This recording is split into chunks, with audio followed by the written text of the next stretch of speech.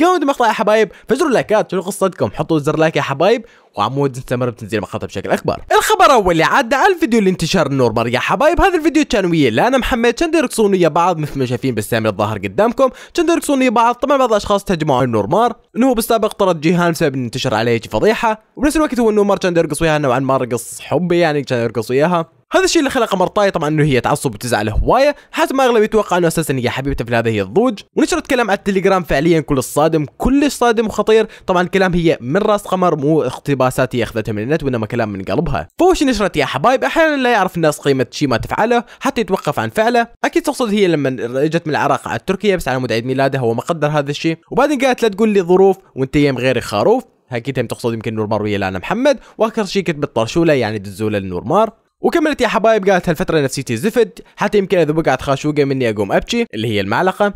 بعدين قالت أقول لكم شيء لا تفخرون أبد بشخص تحبوه أو شخص قريب منكم قصد على النور مار إيش قد ما كان قريب أو تحبوه إذا تفخرتوا بيه وخليتوا العالم تعرف حيجي يوم يسوي بيكم موقف أو يخليكم تستحون وتقولون قدام الناس إنه هالإنسان هيك سوى قد ما كنتوا تجاملون بيه. وتحجون عنه بكل حب. مو صدق نفسي أقابل شخص يخاف يكسرني مهما صار بس مستحيل كل الناس بس كلام. نفسي أحكي أحكي وأحكي بس. مو شخصيتي ما اعرف أحب أكتم والله. فما أقدر أحكي هواي وبطي حكم وسوالف أفضل السكوت. بعدين كملت وقالت اخذوها مني. كل شخص قلتوا الدنيا أذتني. دير بالك تصير أذية جديدة لقلبي. هو نفسه اللي راح يصير هو والدنيا عليك. والشخص اللي قال أحب عيونك هو نفس اللي راح يبتجيها أكيد قصتها يا حبايب إنه مرتي كان يقولها هو نفسه بتجاها وراح تذبله بعد ما يحبها. والاشخاص اللي كانوا بحياتك مثل ممثلي الكوميديا وتحشيش بس حتى يضحكوك. هم نفسهم اللي راح يبتشوك بقد المرات اللي ضحكوك بيها. مثل ما ممثل ياخذ فلوس من ضحك الناس هم ياخذ حق تعبه ياخذ ضحكتك حتى ينطيها لغيرك. لعلمك السهر وعلمك تنتظره كل ليلة.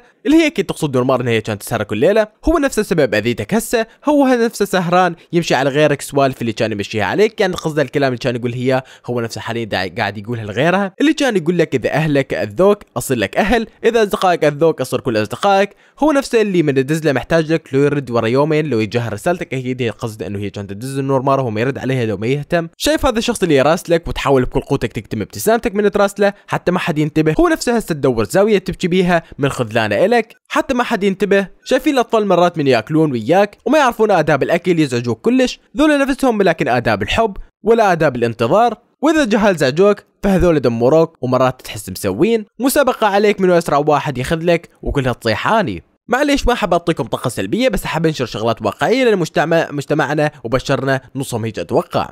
بعدين كملت. إيش قد تمنيت شغلات ودعيت تصير لي شغلات من قبل بس ما صارت لي بوقتها. زعلت وبكيت و و و. بس هسه وصلت لمرحلة أحمد ربي مليون مرة أو نص الإرادة اللي صارت وتحققت. وادركت إنه من صدق عسى ان تكرهوا شيئا وهو خير لكم. لا تضوجون ابدا على شيء ردتوا إنه يصير لكم ولكن ما صار. الوقت صدقوني راح يصير لكم الاحسن منه. وتدركون إنه اللي صار وتدركون إنه فعليا كان صار اللي كنتوا تريدوه. ممكن ينقلب عليكم شر بالمستقبل. دائما احمدوا ربكم ولا تضوجون على اي شيء ببالكم مهما صار لأن اللي حيصير الاحسن منه. وتتعوضون أكيد قصدها انه هي حاليا خسرت نورمار. ولكن هذا الشيء حتشوفه بالنسبة لها خير. إن شاء الله بالمستقبل يجيها الاحسن منه. وبس والله كانت وياكم الدكتورة قمر طايش قالت وبس يا حبايب هذا الكلام فعليا كلش صادم إذا فعليا تقصد نور مار فشي كلش غريب. ما أدري اكتبوا لنا حبايب بالكومنتات هل فعليا تقصده أو لا أنا متأكد الصراحة إن هي تقصده. حللوا لنا بالكومنتات وبس شلونكم فايز زي ما قامت القصص أحبكم فجروا مقطع باللايكات وبس مع السلامة.